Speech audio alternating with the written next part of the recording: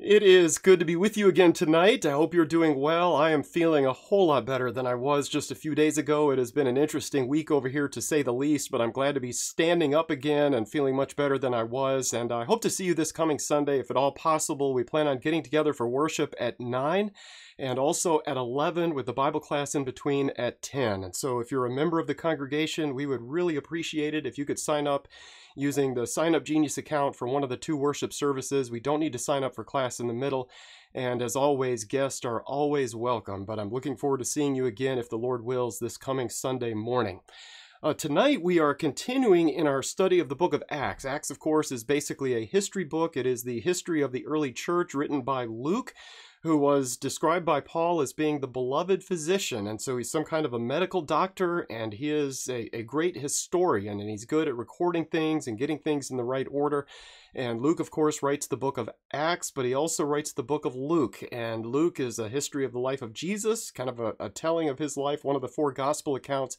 And then after that, he moves into volume two, which is the book of Acts, and that is the history of the early church. And he's writing to a man by the name of Theophilus, both books uh, Luke and Acts are written to the same man, and he's giving this man uh, what he needs to know, perhaps to obey the gospel or maybe to increase his faith. Uh, up to this point in the book, we have looked at the first 13 chapters. In the ABCs of Acts, we had the ascension, we had the beginning of the church. The man who couldn't walk was carried and cured in chapter 3. We had the determined disciples who wouldn't stop preaching in chapter 4. In Acts 5, we had the empty jail. We had the first deacons, but always with a question mark in Acts 6. In Acts 7, we had Stephen, who was described as being the great hero. In Acts 8, we had the eunuch's response to Philip's question, Do you understand what you're reading? And of course, the eunuch replies, How can I? Or how could I, unless someone guides me? Translations differ on that, but you get the point there. How can I? In Acts 9, in the vision on the road to Damascus, you may remember the Lord identifies himself to Saul by saying, I am Jesus. So that's our summary for chapter 9. In chapter 10, we had the journey to Joppa as Cornelius sends messengers looking for Peter. In Acts 11, we had the reminder that the kingdom now includes Gentiles, as Peter explains the baptism of Cornelius to the Jews back in Jerusalem. In Acts 12, we had Peter liberated again and over the past two weeks, we've looked at Acts 13, where we had missionaries sent out, and they were sent out from Antioch. They go over to Cyprus from one end of the island to the other. And then as they go north to the region of Pamphylia, up in Asia Minor or Galatia, as we would describe it, uh, John Mark bails on the team somewhere on that journey, uh, heading home to Jerusalem. They land in Perga up north there, and then they go to Antioch of Pisidia, the second Antioch in the book of Acts. Uh, in Antioch, you may remember Paul is invited to speak in the synagogue, which he does. And the rest of Acts 13 is basically a record of Paul's sermon in the synagogue in Antioch. Most people were receptive there in that town, but the religious leaders were jealous and basically get some key groups fired up and run Paul and his companions out of that city. And that's where we left it last week. Paul and his people are leaving Antioch and they are heading on down the road. And since we have the map on the screen here, uh, I'll just go ahead and let you know that when they leave Antioch, notice they head to Iconium and then over to Lystra and then to Derbe. And then they pretty much turn around and retrace their steps back out of that area before getting on a ship and going back home to Antioch of Syria. So this is where we're headed tonight. I know the lines are a little bit uh, bubble like. These are not actual road maps. This is kind of a concept of the cities that they visited, so not the exact trail that they were taking. Um, so a little bit exaggerated there with the large green arrows, but they come in, they make their rounds almost in a hook shape coming around to Derbe, and then they back their way out. So that's kind of our, our outline for class tonight. And this, by the way, uh, takes a period of a little bit less than three years. And so that's kind of our timeline here. We may get into the timing a little bit more next week and explain some of that, but roughly a, a three year journey here from the time they leave Antioch of Syria, go all the way to Derbe, do a U turn, and come back, roughly three year period. So tonight, though, as Paul is run out of Antioch, he and his team now head over to Iconium. And so we pick up tonight then with Acts 14, and I'll go ahead and let you know that in the ABCs of Acts, the summary of chapter 14 is not gods, but men. Not gods, but men. Years ago, one of our good Christian sisters here at Four Lakes suggested never give up teaching. Never give up teaching. And that would be a, a great summary of this chapter. I know I'm still going with not God's, but man, that's what I grew up with. I think that's the way I'll always remember this chapter. But if you want to go with never give up teaching, um, I will still love you as my Christian family. And if you want to, to break from tradition there, that's fine. And it's a great summary, as we'll see as we progress through this chapter. So, not God's but men, or never give up teaching, if you want to go with that one. But our first paragraph tonight is Acts 14. As you can see here, we're looking at verses 1 through 7. So, Acts chapter 14, verses 1 through 7. In Iconium, they entered the synagogue of the Jews together and spoke in such a manner that a large number of people believed, both of Jews and of Greeks. But the Jews who disbelieved stirred up the minds of the Gentiles and embittered them against the brethren. Therefore, they spent a long time there, speaking boldly with reliance upon the Lord, who was testifying to the word of his grace, granting that signs and wonders be done by their hands. But the people of the city were divided, and some sided with the Jews and some with the apostles. And when an attempt was made by both the Gentiles and the Jews with their rulers to mistreat and to stone them, they became aware of it and fled to the cities of Lycaonia Lystra and Derbe and the surrounding region, and there they continued to preach the gospel.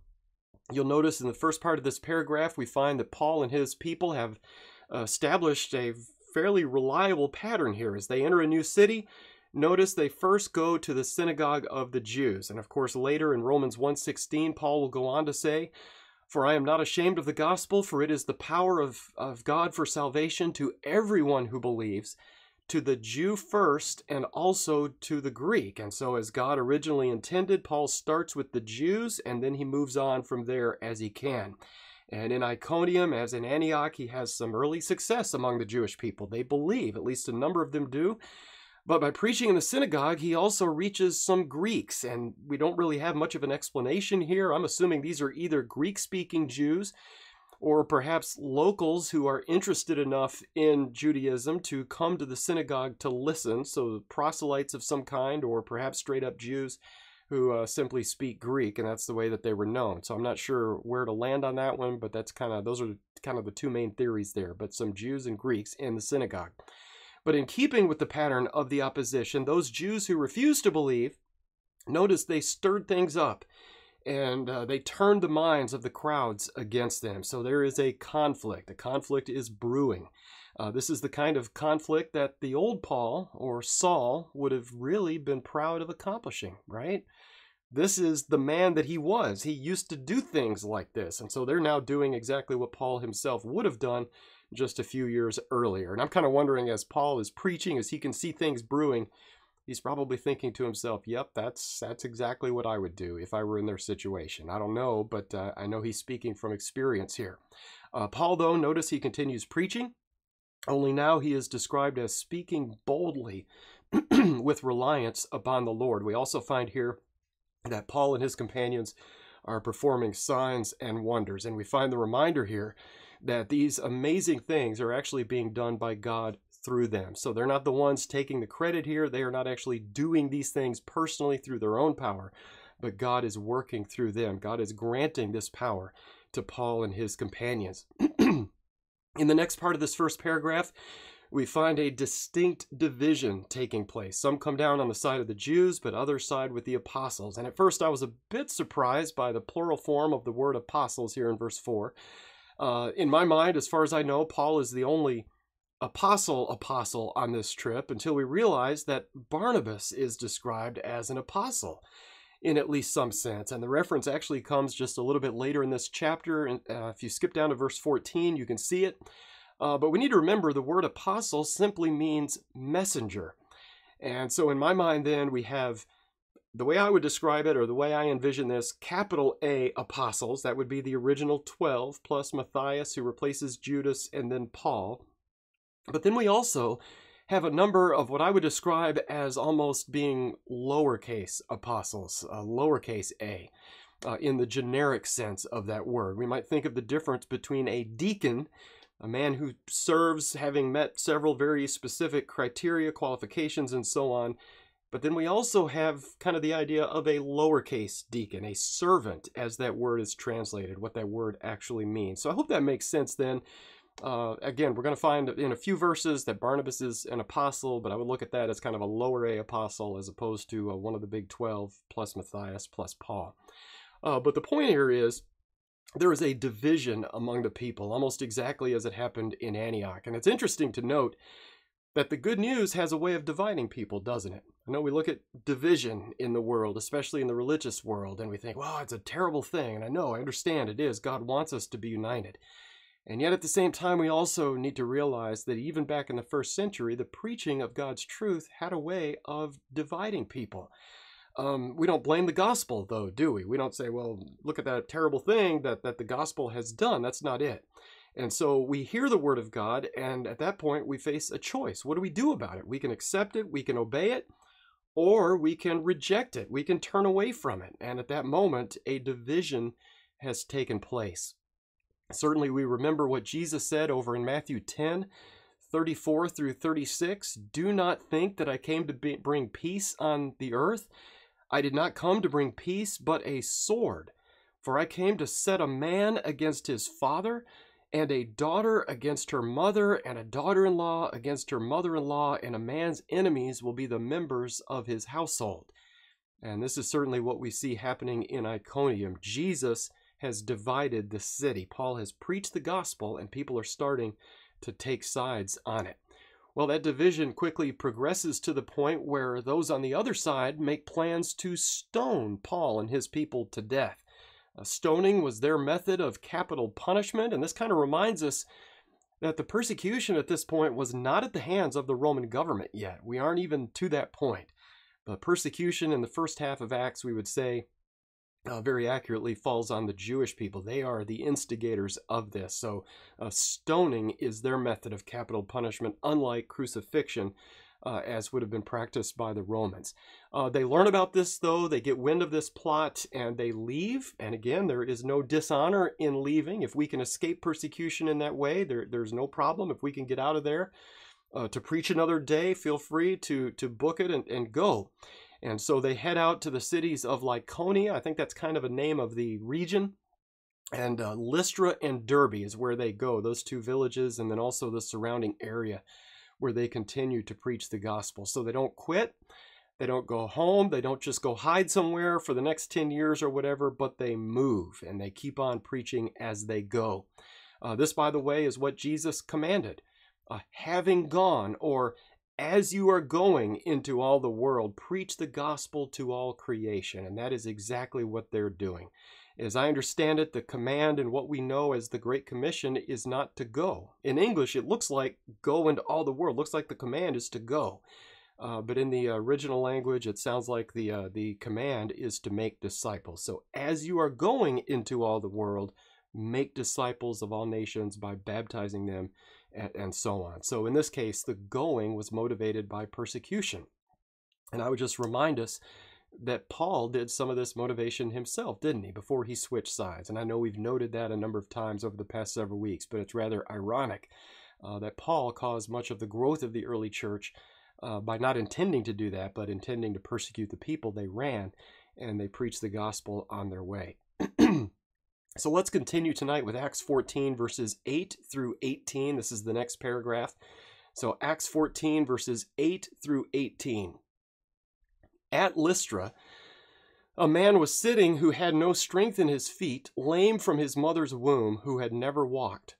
This man was listening to Paul as he spoke, who, when he had fixed his gaze on him and had seen that he had faith to be made well, said with a loud voice, Stand upright on your feet and he leaped up and began to walk. When the crowd saw what Paul had done, they raised their voice, saying in the Lycaonian language, The gods have become like men and have come down to us. And they began calling Barnabas Zeus and Paul Hermes because he was the chief speaker. The priest of Zeus, whose temple was just outside the city, brought oxen and garlands to the gates and wanted to offer sacrifice with the crowds. But when the apostles Barnabas and Paul heard of it, they tore their robes and rushed out into the crowd, crying out and saying, Men, why are you doing these things? We are also men of the same nature as you, and preach the gospel to you that you should turn from these vain things to a living God who made the heaven and the earth and the sea and all that is in them. In the generations gone by, he permitted all the nations to go their own ways, and yet he did not leave himself without witness, in that he did good and gave you rains from heaven and fruitful seasons, satisfying your hearts with food and gladness. Even saying these things with difficulty, they restrained the crowds from offering sacrifice to them. In verse 8, we have a little more info concerning what happens in Lystra. They meet a man who cannot walk, he has no strength in his feet. Uh, Dr. Luke tells us that he's had this condition from birth and has never walked. So this is not psychosomatic. This is not something he's imagining that um, Paul just kind of encourages him to, you know, snap out of it. That's not what's going on here. This is from birth. He had never walked. And this man is there and he is listening to the Apostle Paul. So he's not actively begging, at least at this point. We have no record of that. But he is listening. He's interested in what he's hearing. Well, Paul connects with the man. They make eye contact, and Paul somehow knows that he has some level of faith. Paul can read his audience. And Paul simply orders the man to stand up, and that's what he does. I was kind of looking at this uh, earlier today, and uh, the word ortho is used there. So, like orthopedic or something. So, stand upright on your feet. And so the man does that. He jumps up and he begins to walk immediately. So, we have a miraculous healing. And as we move into what happens next, uh, let's remember that the purpose of miracles is to confirm the Word of God. We'll learn more about this in the opening verses of Hebrews 2. Uh, the word of God was first confirmed by miraculous signs, and this is what we see here. You got some stranger coming in to preach something. He kind of needs to do something to prove who he is and that his word is valid. And that, that was the point of miracles back in the first century before they had the written word confirmed, written down. Uh, this miracle has uh, caused the local people to assume that Paul and Barnabas are gods and so I guess we might say, in one sense, mission accomplished, right? That they were messengers of God, that the miracle did its job by pointing to deity. Uh, but in another sense, the people obviously went a bit too far here, didn't they? they? They see Paul and Barnabas as gods. They are the gods that, that have come down to earth, and they're amazed by this.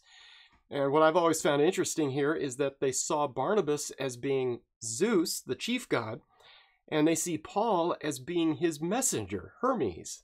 Uh, because Paul was doing the talking. And I mean, obviously, Paul, as an apostle apostle, outranks Barnabas, uh, but they see Barnabas, the quiet one, over to the side as being Zeus, and Paul is actually doing the speaking, so he must be the messenger of the chief god.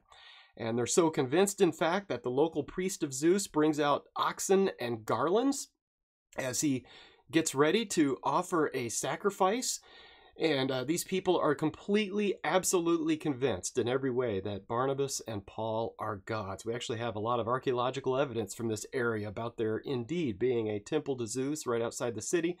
I think we found coinage from this actual city with, uh, I think, a, a, priest of Zeus leading out two oxen uh, toward the sacrifice. And so there's some uh, archaeology certainly to back this up. In verse 14, we get back to both Barnabas and Paul being referred to as apostles uh, when they hear that this local priest is getting ready to offer a sacrifice in their honor, they are absolutely horrified, aren't they? Now, I would contrast this with uh, what happened with Herod uh, just uh, in the last few weeks here. Remember, Herod was praised, the voice of a God and not of man. And he, his response was basically, Thank you very much. And he accepted that praise. But here, uh, Paul and Barnabas do the opposite of that. So they are horrified by this. They tear their robes, they run out into the crowd, begging everybody to stop. And the reason is they are not gods, but men. That, of course, is our summary for this chapter. We are not gods, we are men just like all of you are.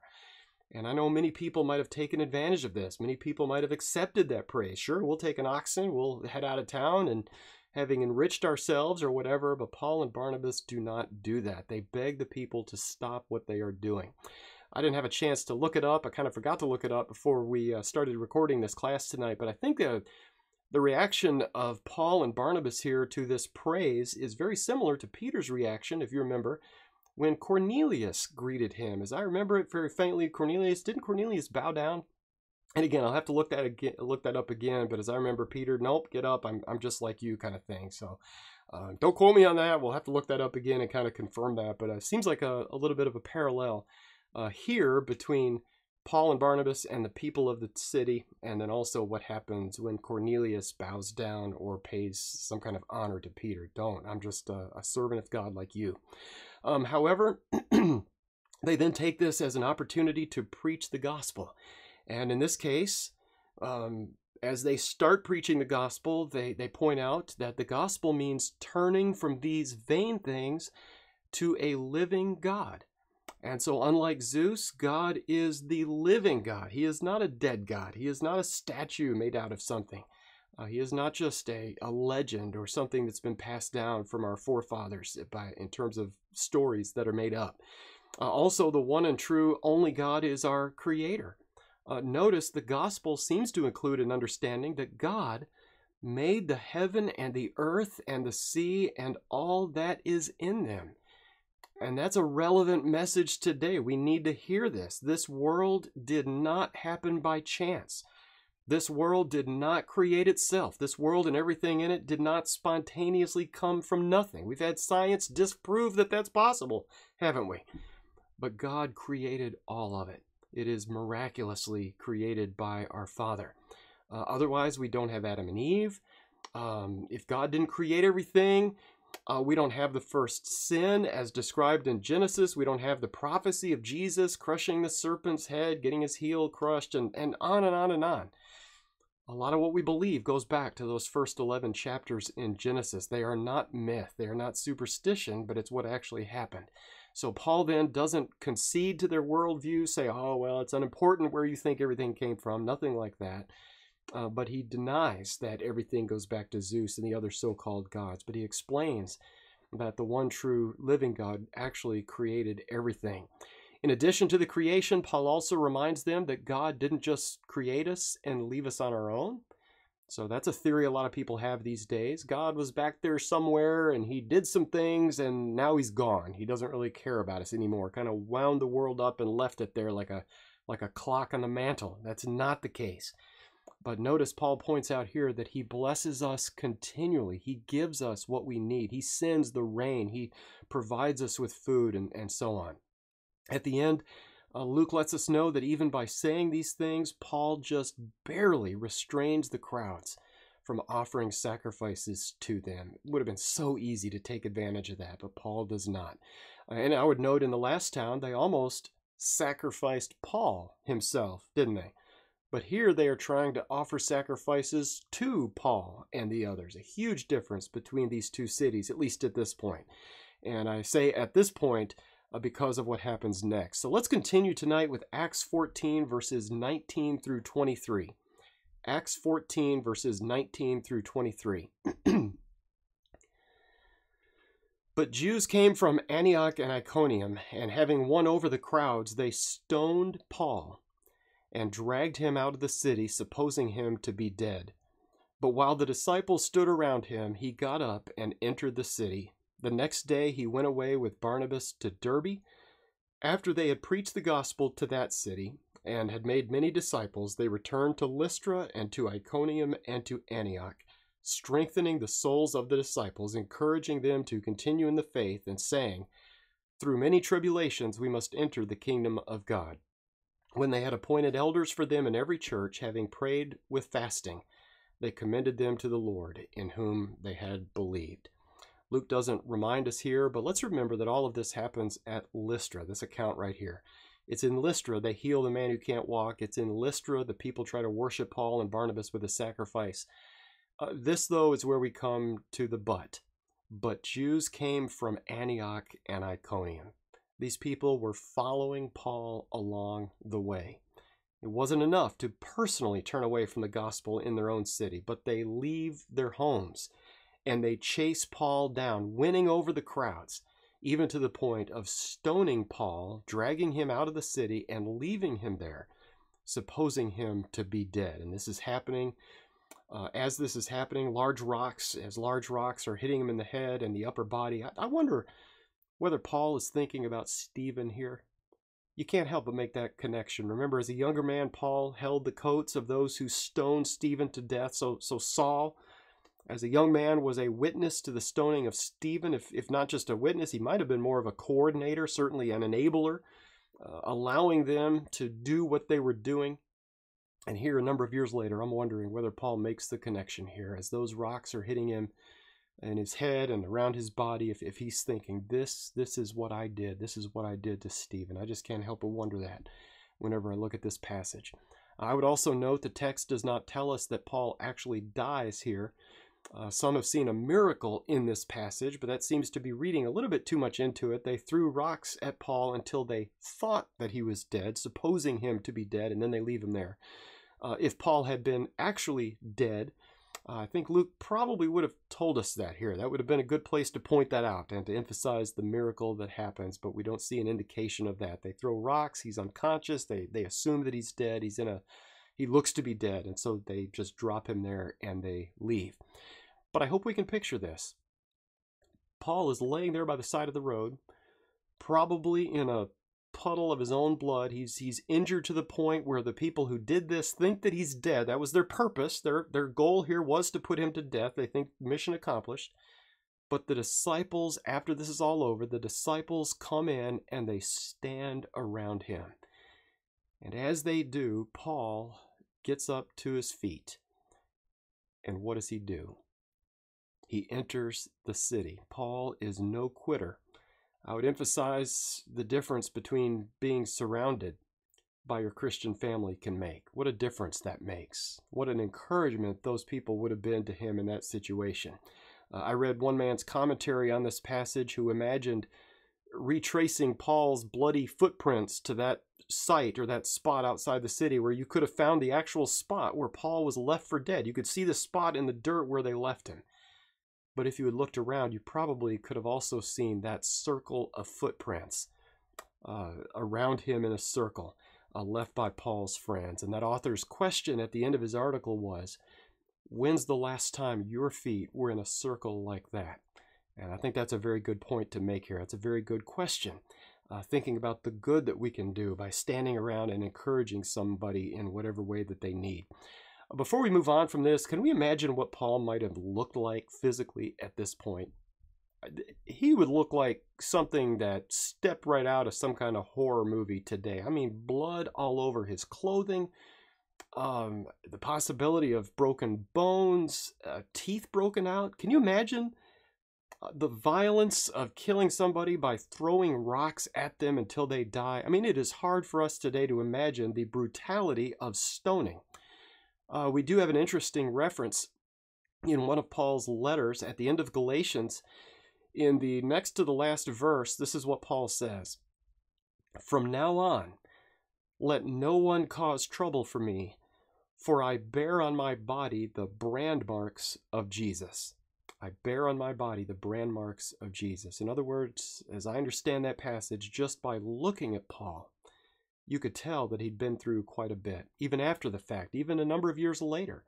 I think you could look at Paul and you could say, man, that guy has been abused. That, that man has been through some things. Again, scars, uh, you know, missing teeth, jaw out of alignment, a dip in his skull. I mean, I don't know, walking with a limp, legs that didn't work quite right, arms that were bent in weird ways, having healed.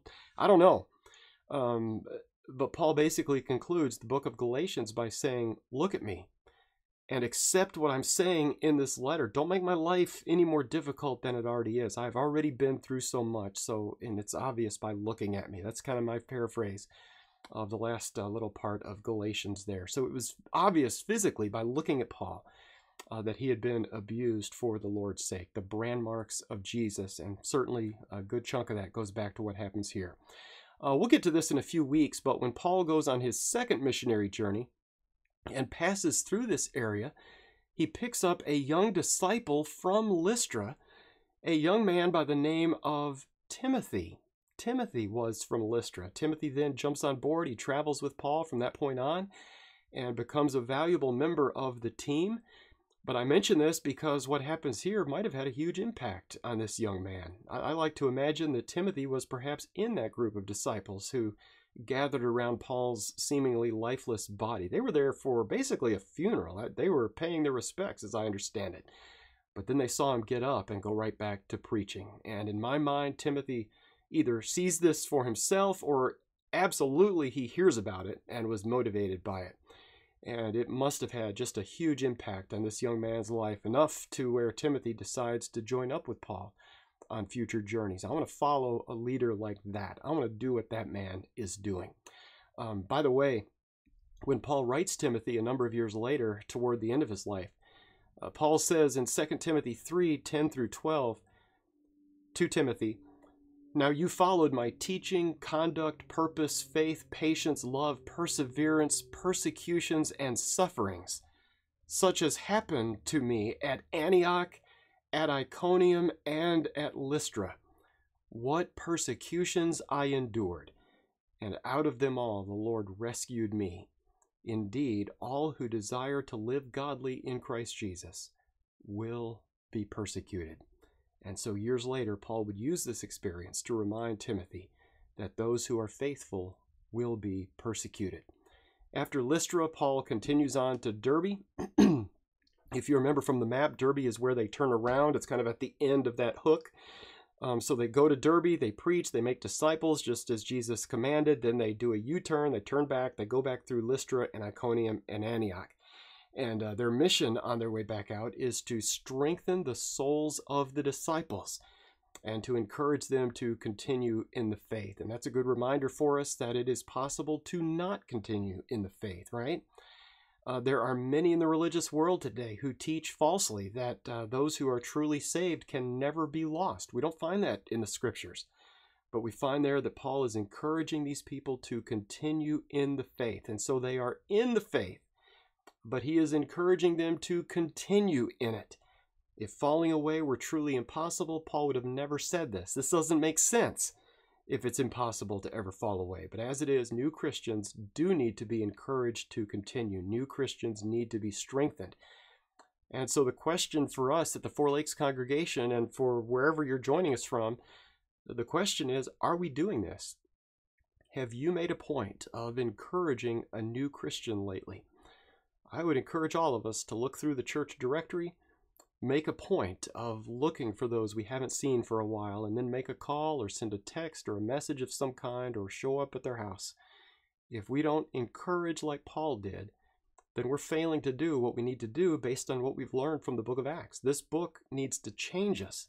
If this book isn't changing us, we're wasting our time. And I think one thing we learned from this passage is Paul not only taught people the gospel, but he also followed up and he went back and he checked on people and he encouraged them to remain faithful. And that is absolutely something that we can still do today. At the end of this paragraph, we find that as Paul leaves the area, as he makes these visits on his way out, he and his team appoint elders for them in every city. And what's amazing here is that this all happens within a period of about three years. Have we thought about that?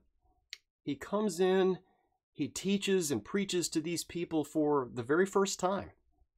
And on his way back home, within a period of about three years, he appoints some of these people as elders of the congregations. What does that tell us? It tells us it is possible to be qualified to serve as an elder within a relatively short period of time. How is this possible? How can somebody be qualified to serve as an elder in only three years? We're not given the details here, but it happens. And my personal opinion as to how it happens is that some of these men were most likely already faithful Jews, that they already knew about God, they already knew the law of Moses. Once they obey the gospel, then they're very quickly brought up to speed. They are mature men with wisdom and experience leading people, and once they make the leap from Judaism into Christianity, they are ready to go. Do we see how that might work? I think that's encouraging to us that Paul can teach a bunch of people and can appoint some of those men elders within a three year period. That, that's an amazing thing. to me, it's just encouraging. It's easy for us to picture an elder as a 60 year old man who's been a Christian for 70 years. Okay? that's an impossible scenario, isn't it? But I, I, sometimes in our minds we think impossible things. This is not achievable. And yet it is. I mean, Paul does say that an elder is not to be a new convert over in 1 Timothy 3, verse 6. But apparently, three years is enough time to no longer be considered a new convert. Otherwise, Paul contradicts himself here and he does something that he said not to do later. And I don't think that's the case. Uh, I would also note the role of prayer and fasting in this process. This is serious business, and they treated it seriously. They went to God in prayer, they skipped meals over this. And it was significant. This was a huge leap in the history of the Lord's church in this region. I would also note that they appoint elders for them in every city. God's plan is for each local congregation to be overseen by a plurality of elders. So we don't have a, a pastor uh, leading a congregation on his own. He's not the leader. Uh, we don't see that anywhere in Scripture. We don't have a bishop serving over multiple congregations. We see it in the religious world today, don't we? Uh, it's become a problem starting almost from the very beginning where uh, local elders kind of got promoted to uh, serving over other congregations, and eventually you have bishops and cardinals, and then you got a pope over the worldwide church, and it just it mushrooms. It just goes from there. Uh, but we never find one elder over a congregation, but instead elders are always in Scripture referred to as a group.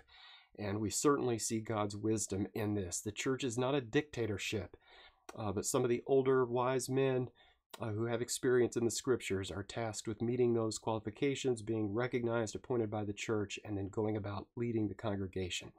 Uh, the main lesson I get from this little section is that these churches did not languish for decades without leadership.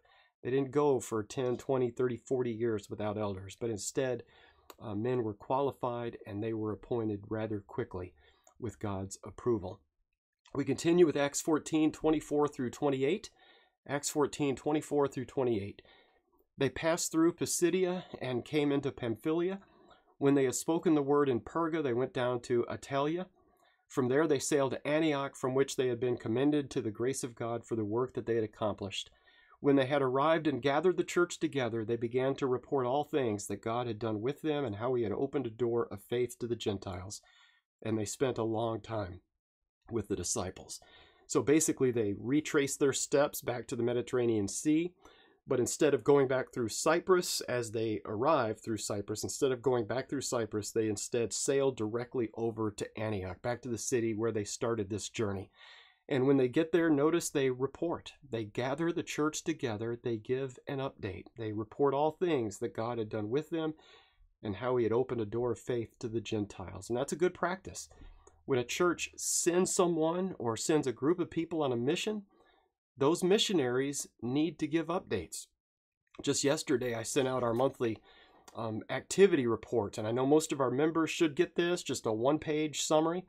And I started this way back in May or June of 1993. And I don't think I've missed a single month since then. But back in the spring of 93, the church down in Goodlettsville, Tennessee took on half of our financial support.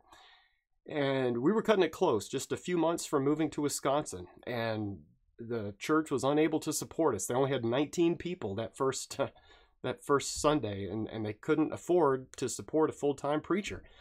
And so, a few months before moving up to Wisconsin, we visited with the elders and the, the, some of the deacons, the missions group from Goodlettsville. And they interviewed both of us. Took about two hours, and they just grilled us. They had some good questions, but some of their questions made us feel better about what they believed. If you understand what I'm saying there, you can tell a lot about an eldership by the questions that they ask. And so they set us at ease with some of their questions. But at the end, they said, How much do you need?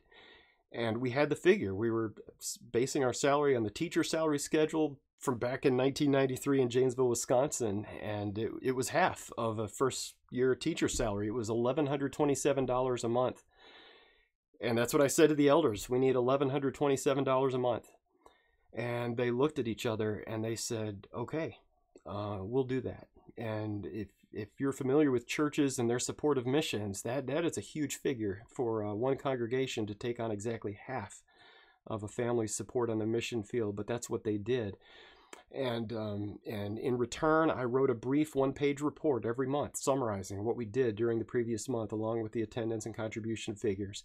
And uh, thankfully, we were able to cut down on that support through the years. But when we moved up here to Madison, there was a need again. And and the church wasn't in a position to support us full time. And so we went back to the church in Goodlettsville and asked them, and we explained the situation. And they said, yes, we will do whatever needs to be done. And we continued those monthly reports since then, back in April of 2000. And, and since we've, we've cut out all of our personal support altogether, thankfully.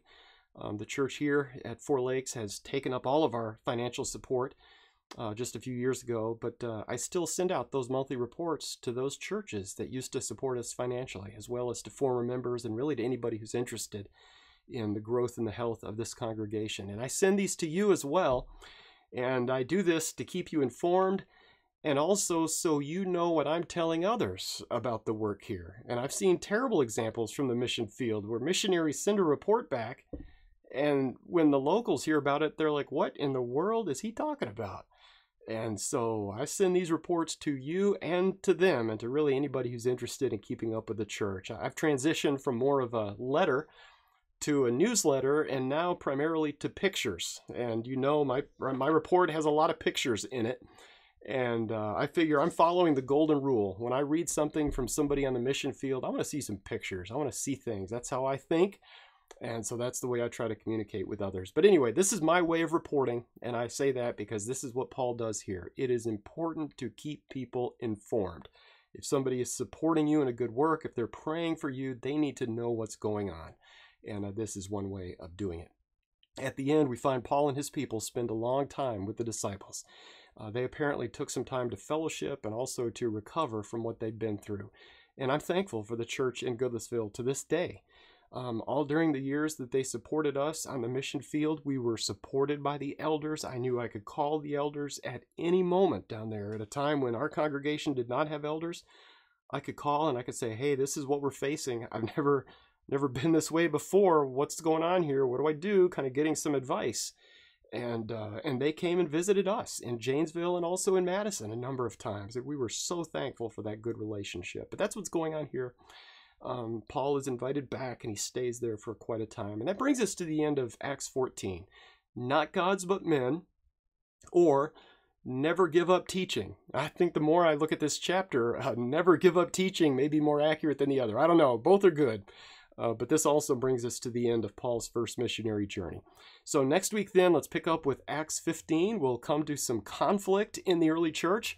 Um, and we'll deal with that and we'll see how they dealt with it. So thank you for taking the time to study together tonight. I hope to see you on Sunday, if at all possible. Uh, got a negative COVID test this morning. Took the test on Monday, and I had, I had probably 90% of the symptoms, and uh, I'm, I'm so thankful it came back negative, and I'm feeling a lot better. But I hope to see you on Sunday if possible, and then also between the services at 10. So worship at 9 or 11, the Bible class in the middle at 10 and let me know if you have something we need to be praying about. Uh, let's close tonight by going to God in prayer. Our Father in heaven, you are the great and awesome God, creator of heaven and earth and everything that we see around us. You are the God of good news, the God who saves us. Tonight we've seen that you are also a God who heals. You are concerned about us. You know our suffering, you know our fears, you know our concerns, you sent your Son to this earth on a mission to save and to forgive. And you've sent your messengers into all the world to communicate your love to all people. Thank you, Father, for saving us, and thank you for making us a part of your plan to go into all the world. Help us as we encourage each other to continue in the faith. In Jesus we pray. Amen.